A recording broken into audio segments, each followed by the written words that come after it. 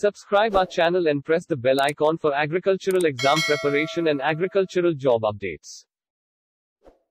Hello everyone welcome to agriculture and GK दोस्तों, आज हम बात करेंगे how to become an agriculture extension officer आप कृषि प्रसार अधिकारी कैसे बन सकते हो? इस वीडियो के माध्यम से हम आपसे वो डिस्कस करेंगे। तो दोस्तों, अगर आप चैनल पर नए हो तो चैनल को सब्सक्राइब कर लीजिए, क्योंकि आपको इसी तरह की यूजफुल वीडियोस यहाँ मिलती रहेंगी।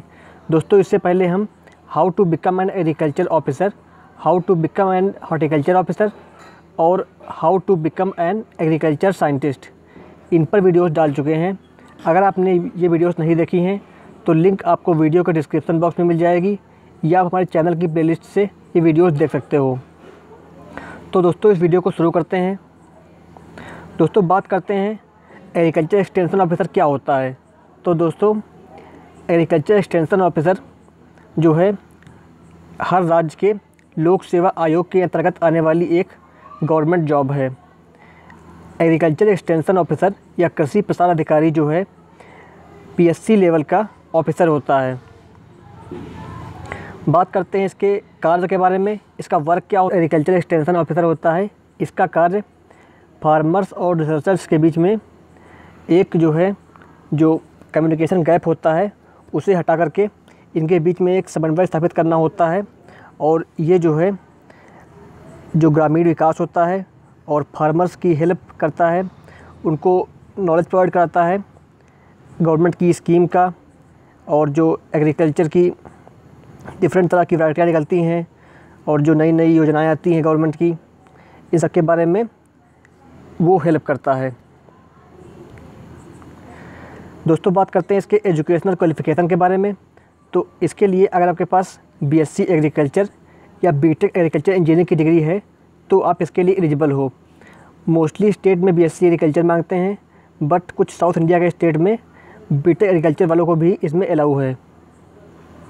बात करते हैं इसकी एज लिमिट की।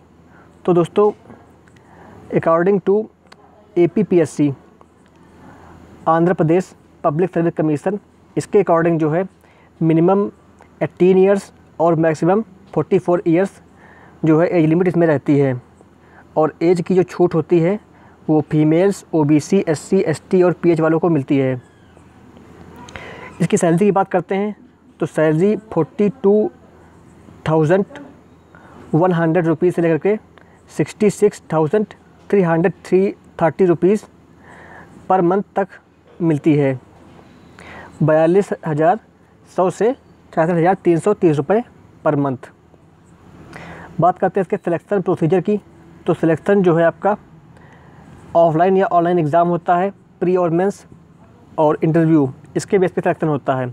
कुछ स्टेट में बस केवल एक ही एग्ज़ाम होता है और इंटरव्यू होता है और कुछ स्टेट जो नॉर्थ इंडिया के स्टेट है, जैसे उत्तर प्रदेश हुआ, इसमें जो है दो एग्ज़ाम होते हैं प्री और मेंस बाद में आपका इंटरव्यू होता है। जो लोग यूपी से बिलोंग करते हैं, उनके लिए हमने जो है यूपी पीएससी का जो सिलेबस है बेस्ट बुक्स हैं, इसकी एक वीडियो दी है। तो आप वो वीडियो देख सकते हो चैनल की प्लेलिस्ट से।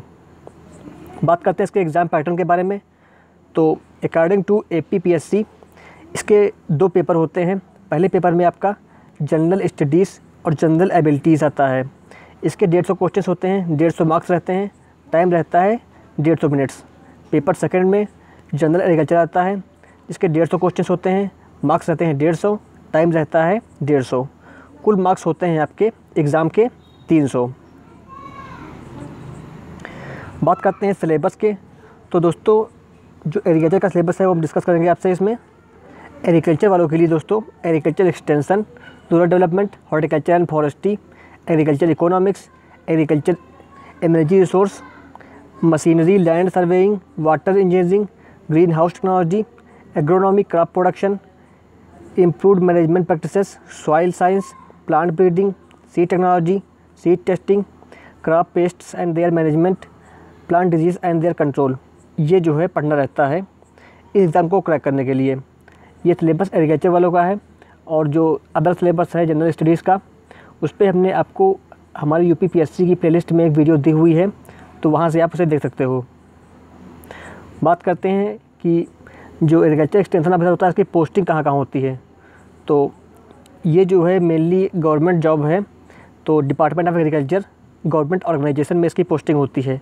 इसके अलावा कुछ प्राइवेट कंपनीज़ में भी ये जॉब निकलती है, जैसे आपका पेस्ट कंट्रोल कंपनीज़ और आपका agricultural cooperations self employment working as consultant तो ये एरिया होते हैं जहाँ पर जो है इसकी जॉब निकलती है। तो दोस्तों, ये थी complete information about agriculture extension officer. तो उम्मीद करते हैं आपके लिए हमारी यह वीडियो हेल्पफुल रही होगी। अगर आपको वीडियो अच्छी लगी हो तो वीडियो को लाइक कर दीजिएगा शेयर कर दीजिएगा और इसी तरह की यूजफुल वीडियो के लिए चैनल को सब्सक्राइब कर लीजिएगा। Thanks for watching best of luck to all of you Thanks for watching. Drop a like, leave a comment, or don't forget to subscribe.